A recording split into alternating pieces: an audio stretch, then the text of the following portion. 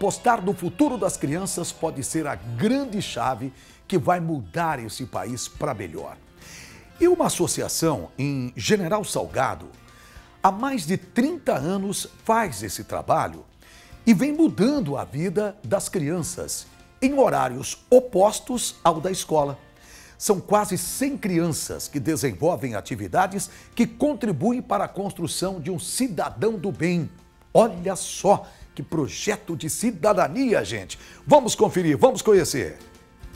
Olhares atentos para o futuro.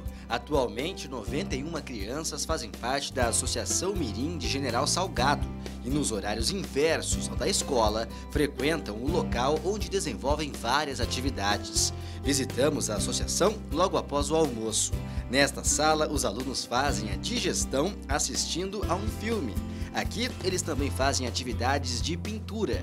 O resultado fica exposto nas paredes da sala de aula. Pessoal, aqueles desenhos que estão colados ali na lousa e na parede, foram vocês que pintaram?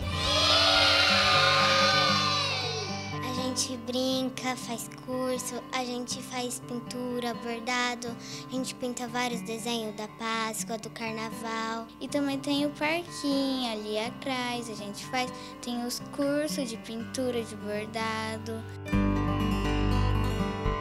Neste outro ambiente, as crianças ouvem histórias infantis, aprendem informática e, para os mais interessados no universo rural, existe uma horta que depende dos cuidados das crianças. Eu gosto bastante da horta, porque aqui a gente consegue preservar o meio ambiente e também recolher os recursos para nós.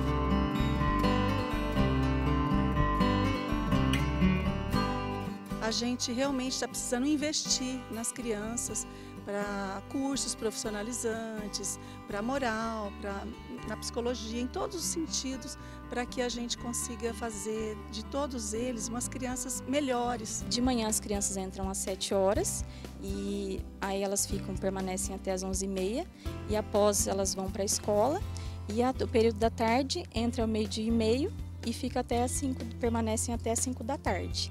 É muito importante ter o contato com a família, né? não só o sujeito único que é a criança ou adolescente. Então nós fazemos um parâmetro geral, trazendo as famílias, é, dialogando com eles, falando do comportamento. Pensar nas crianças de hoje como adultos do futuro. Foi com esse pensamento que há mais de 30 anos o Ramiro idealizou a associação. Ele também foi o primeiro presidente e hoje reconhece que o trabalho mudou a vida de muitas pessoas. Para mim é muito gratificante, né, de ter sido o primeiro presidente, um dos idealizadores da Guarda Mirim, porque eu sei que dali né, é, é, teve frutos e esses menores da época, então, é, foram muito bem tratados. E até hoje, né, a Guarda Mirim continua lá, é, tirando as crianças da rua, fortalecendo no estudo, no estudo delas, um reforço da, da escola. A satisfação do Ramiro é o resultado de muito trabalho. E se depender dos planos da Ana Clara, mais histórias de sucesso devem surgir a partir da associação. Você já sabe o que você quer ser quando for adulta? Uhum. O que você quer ser? Médica. Médica? Uhum. Você sabe que tem que estudar bastante. Sim. É? Mas você vai conseguir, não vai? Vou.